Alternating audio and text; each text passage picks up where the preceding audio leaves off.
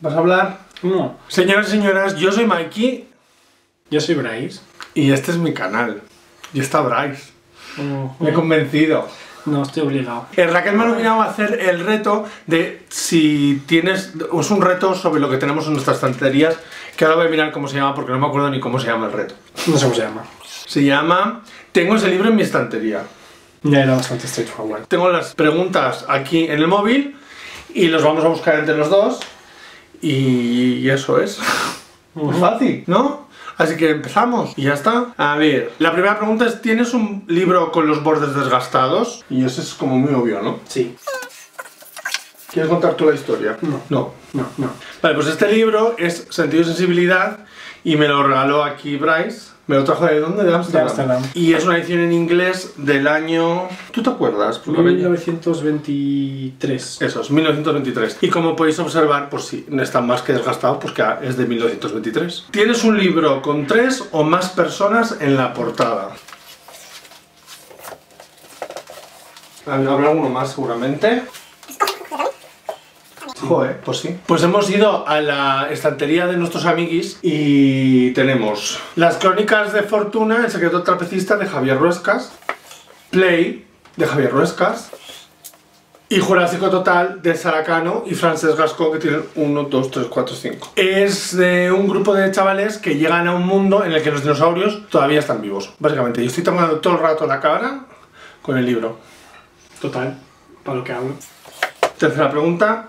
¿Tienes un libro basado en otra historia de ficción? O sea, básicamente un retelling. Tenemos retellings. No tenías Bridget Jones. Tienes de tenis de Jane Austen. No hay alguno allí en ese sitio. No están los de la Sirenita y el de Mulan y no sé qué. Lo bueno de hacer esto con Bryce es que no tengo que ir yo hasta el otro lado de la casa, porque claro, nosotros tenemos estas dos estanterías, pero luego tenemos libros por toda la casa. Y bueno, eh, lo que tenemos son varios retellings de la Sirenita. Soñar con la superficie, que este es de plataforma Neo que acaba de salir, y que lo he empezado ahora, pero he decidido parar porque el- la temática se parece mucho a un libro que acabo de leer. Por otro lado tenemos Sea Witch, de Sarah Henning, que es la historia de Úrsula. Y Part of Your World, A Twisted Tale de Liz Braswell, que es de la colección de Disney que está haciendo de A Twisted Tales. Y no me he leído ninguno de los tres. Esto parece el vídeo de libros que no me he leído. Ahí, con 10 letras. Tienes un libro con un título de 10 letras. Este sí que nos va, vamos a tener que contar. Cago en 9 por 1. ¿Sabes cuál tiene 10 letras? ¿Cuál? Persuasión. ¿Pero en qué idioma? ¿Qué dices? 1, 2, 3, 4, 5, 6, 7, 8, 9, 10. ¿Tiene cojones? Pues Persuasión de Jane Austen. Que bueno, que tengo varias copias, o sea que cualquiera me sirve. Como he hablado varias veces de este libro, os dejaré el vídeo en like. Qué rápido lo haces, qué bien. Es porque tienes ganas de terminar. Sí. ¿Tienes un libro con un título que empieza y acaba con la misma letra? ¡Hala! ¡A buscar! Ya está. No está. La inclina de Wilfred Hall. Ah, sí. La inclina de Wilfred Hall empieza por L y acaba por L. ¿Tienes una edición de bolsillo? tengo muchas. Eh, tengo todos estos de Agatha Racing, ¿los veis? Tengo toda esta colección en bolsillo. La princesa de hielo de Camila Lackberg. Ya está, así que siguiente. ¿Tienes un libro de algún autor que use un seudónimo? A ver, esto va a ser más difícil. El... No, no va a ser nada difícil. Elena Ferrante es un pseudónimo. Elena Ferrante es un seudónimo. Nadie sabe quién es Elena Ferrante. ¿En serio? En serio. Y bueno, este es un mal nombre, que es el segundo volumen de la saga Dos Amigas, que yo tengo la saga entera, aunque aquí me falta el primero, que creo que lo tengo en la habitación. Siguiente pregunta. ¿Tienes un libro con el nombre de un personaje en el título? Emma. Y también persuasión en alemán.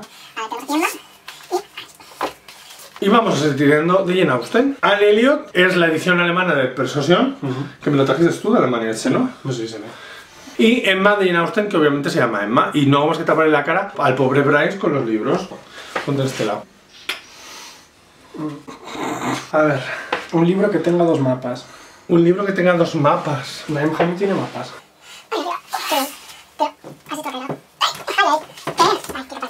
Uh, tiene varios mapas. Mira, a ver. El segundo de Nameheim, que se llama El Azor y los Cuervos, tiene un, Tiene un mapa de Nenheim, tiene un mapa de los reinos extraños y un mapa de Tejanen, un mapa de Villarín. O sea que hay mapas de todos lados. Eh, en serio, si no conocéis Neinheim, tenéis que leerlo porque es lo puto más. Son dos libros que te cagas. Ya está. Oye, estoy un poco ahogado y todo, ¿eh? Normal. Madre mía. Un libro que se haya convertido en serie de televisión. Uno dice. Eh, cualquiera de Jane Austen. Adelante. Hombre, vamos a intentar no repetir. Vale. El de la serie Ana la de las Tejas Verdes, que la serie de Netflix es lo puto más, pero también había una serie anterior y unos dibujos animados. Sí, de dibujos ¿No? animados. ¿Qué más? Un libro escrito por alguien que sea famoso por otra cosa. Famoso, ¿Cómo? Que sea famoso por otra cosa que no sea escribir.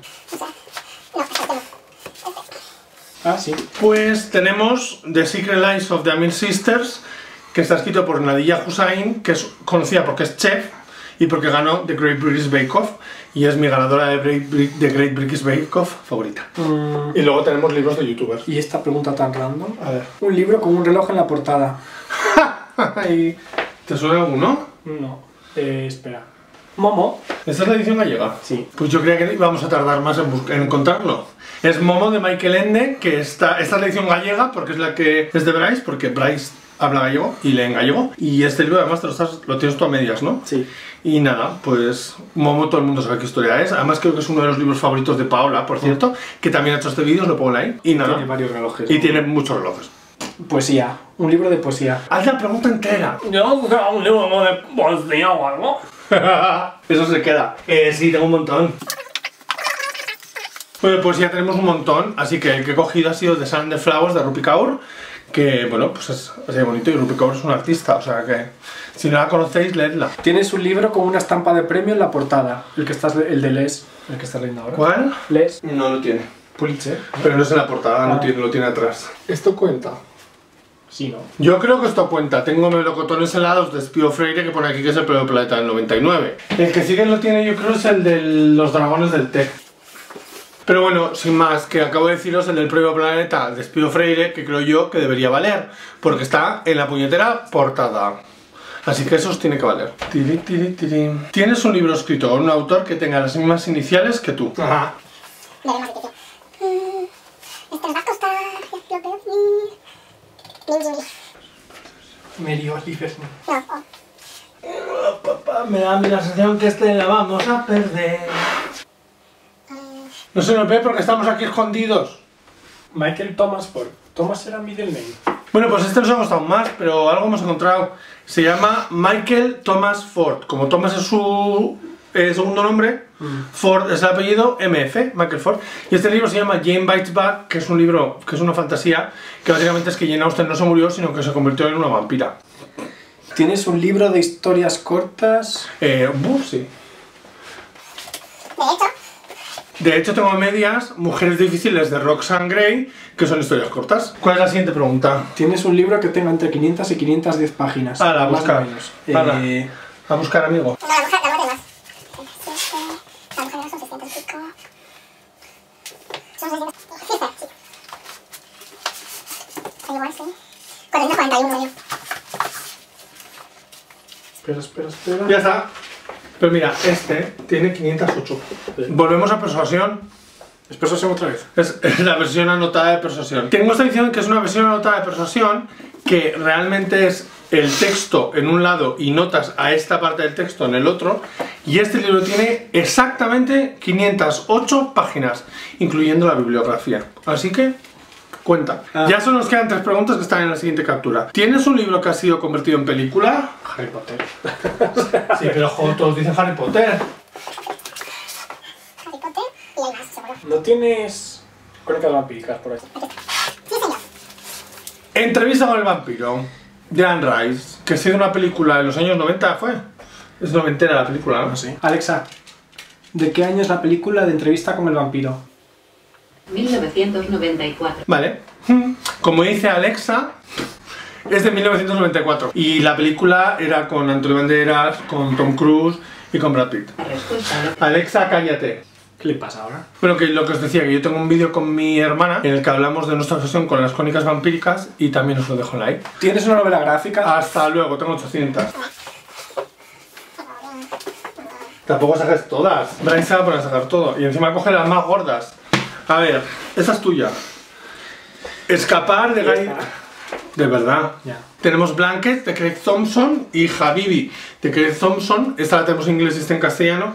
Yo este todavía no me he leído. Este es una fantasía que tengo muchas ganas de volver a leer porque me gustó muchísimo. Es muy fuerte, muy duro, muy bonito, muy maravilloso. En España está editado por Astiberri. Este también está editado por Astiberri en, en España.